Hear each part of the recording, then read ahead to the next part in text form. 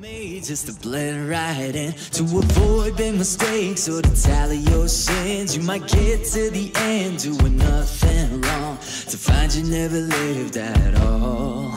More